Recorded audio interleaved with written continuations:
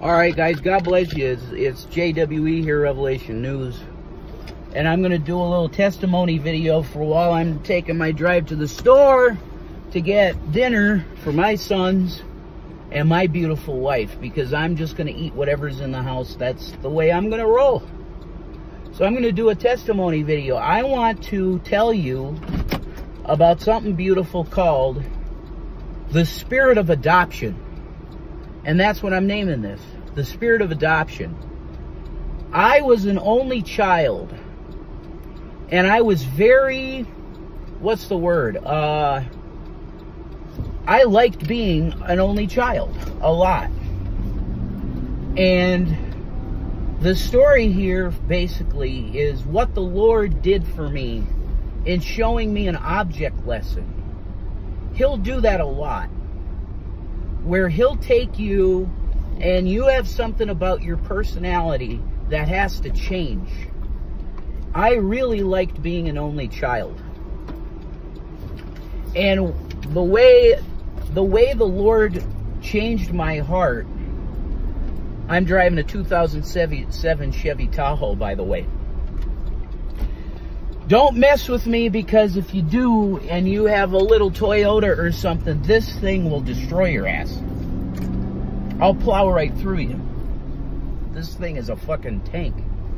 But anyway, the spirit of adoption.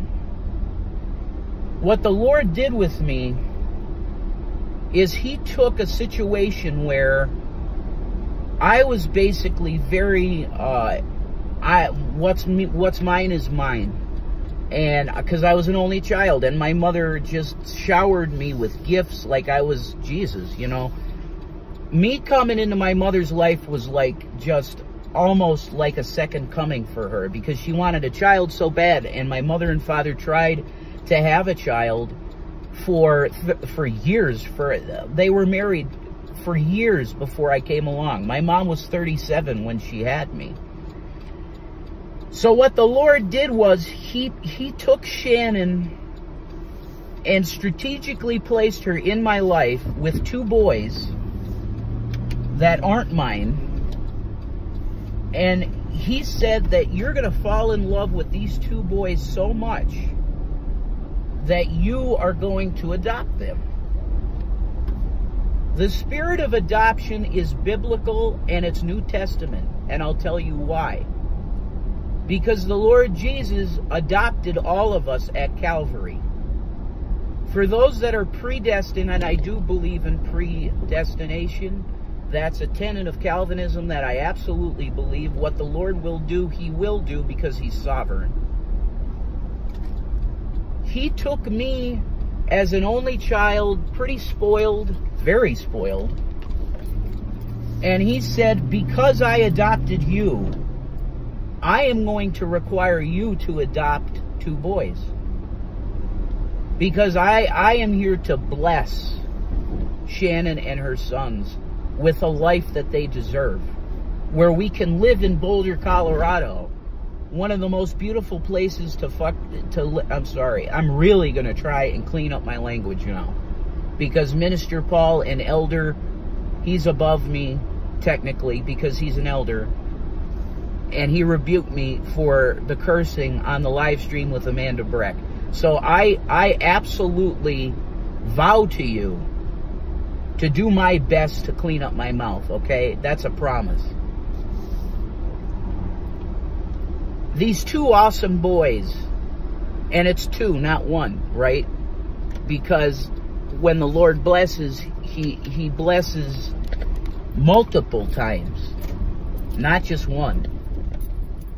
So, I'm going to adopt Zachary and William will be Zachary Egroff and William Egroff. There's going to be another William Egroff.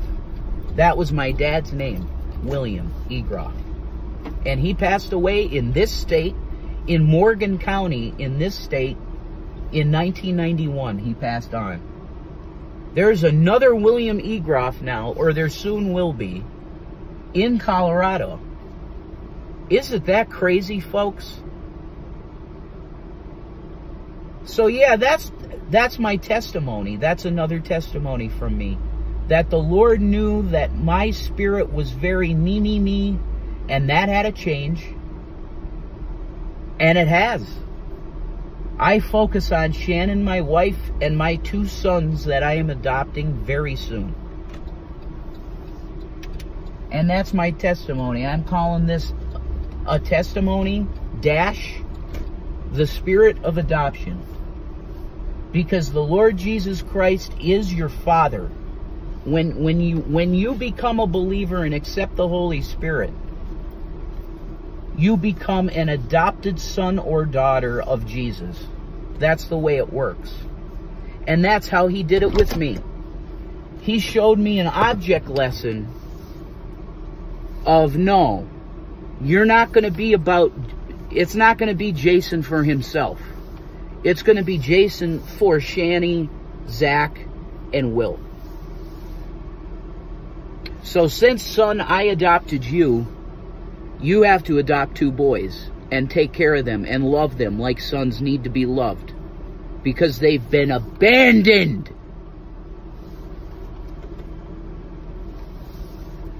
Doug Gaddis and Christopher Dornbush. Jason William Egroff stands up and he's in the council and he stands up in the courtroom and says, I will take care of those boys. They're mine now. How's that? So this is Jason William Egroff, Revelation News being blessed and giving you a testimony because testimonies are, it's the Lord in your life. The spirit of adoption. What is this little O here?